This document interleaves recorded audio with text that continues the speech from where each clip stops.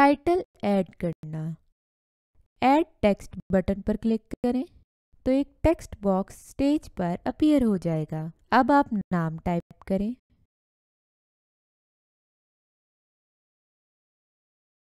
Text के size को change करने के लिए चेंज साइज़ बटन पर क्लिक करें। टेक्स्ट साइज़ पर क्लिक करें।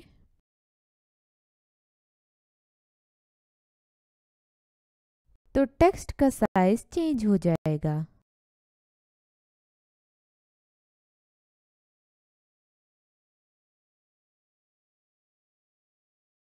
अब चेंज कलर बटन पर क्लिक करें।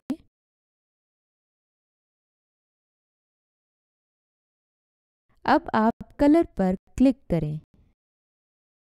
अब स्टेज पर मौजूद किसी खाली जगह पर क्लिक कर दें।